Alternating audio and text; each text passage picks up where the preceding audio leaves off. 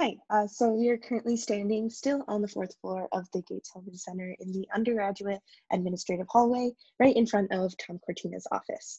Uh, here we'd like to go into detail about advising, TAs, and the overall approachability and seemingly infinite resources that you could have for help. Uh, one of the best thing about SCS is the approachability of the faculty. You probably noticed I said we were in front of Tom's office instead of Professor Cortina or his other official titles. Uh, this is because the professors respect their students and in turn are very welcoming. You will see even freshmen cracking jokes with the professors that created some of the material for their classes.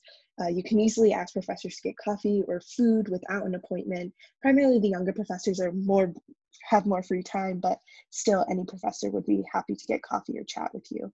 Personally, I'm really close with my advisor and I even built the IKEA couch that's in his office currently. Um, so I'd like to go and enjoy that oftentimes. Um, a lot of people become Facebook friends with the professors or follow them on Twitter.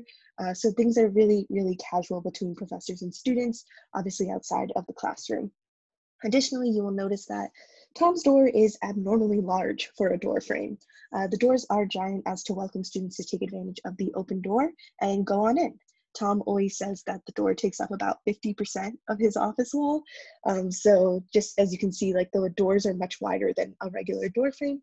Um, and this is to enforce the fact that we do have an open door policy. Uh, Tom is one of the many advisors to the undergraduates and currently is an advisor to half the freshman and junior class. Well, I guess rising seniors now. Um, for freshman year, you will have Veronica or Tom as your advisor who will help you with things like AP credits, choosing your classes, etc., any other freshman related problems. And then after freshman year, you'll be assigned a new advisor that will be yours until you graduate. Um, you're also welcome to change your advisor if you feel rather close to a different professor, uh, which I actually ended up doing. Um, they will be there for you for any personal help or classes help, planning your schedule, and just about everything in between. Uh, you can also ask just about any professor for help, regardless of whether they are your advisor, so you will never run out of people to talk to. Uh, also, when you get your minor, since it is required to get a minor in SCS, uh, you will have a minor advisor as well, or if you do an additional major, you can have an additional major advisor. So there's no limit to the number of people that you can talk to. In terms of your classes, if you're struggling, we have so many resources to aid you. There are office hours and TAs and Excel sessions and SI tutoring and one-on-one tutoring, all free and available to all students. Uh, there are also psychological services on campus, and we have fitness centers and group X classes for physical health. Uh, and your advisor will be first aid and mental health trained, and they can connect you to any resource on campus. So whenever you're feeling overwhelmed, or if you just need someone to talk to, there are so many people that you can go to that can help you out with that.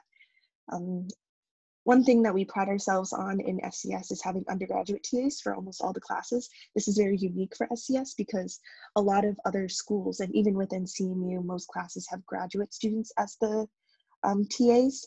Uh, but this means that a student can take a class one semester and as soon as the next semester, they can be paid and hired as a TA for the course, helping students through the material, helping the professor with grading, holding office hours, and perhaps holding recitations uh, based on what class it is. I personally have loved the TA experience uh, because it gives you the chance to meet new people, help others on material that you may have struggled with when you took it, and be able to have an impact on the class um, afterwards now that you are a TA rather than just a student.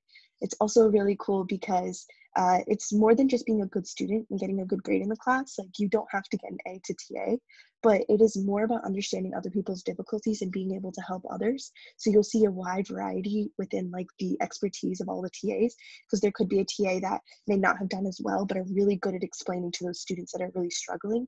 And then there could be another TA who has like astronomical information like unlimited information about the topic and they can kind of cater to the kids who are more invested in the class and maybe have a little bit more background related to it the application process is very easy and it allows students of all years and experience levels to TA together. And it can actually happen where like your TA one semester is your student another semester because the classes don't really have like a fixed ordering to them other than like the core classes. So you can kind of take them in any order. Um, it kind of creates an entire TA network where you see all the other TAs wearing their TA hoodies um, and having some sort of like mutual respect for each other. It's a great way to make new friends while helping others um, it's just a great experience that I think that everyone in SCS should have if they want it. It's also a really great experience if you're considering going to grad school, um, because as a grad student, you will most likely have to TA, and having some undergraduate TA experience can be really exciting. Um, you can also get involved in like research related to that as well. Uh, cool, so the next stop is now moving to the fifth floor. Usually we would take our glorious Gates Helix that runs from the third to the fifth floor, uh, but for now you can just stick around for the next video.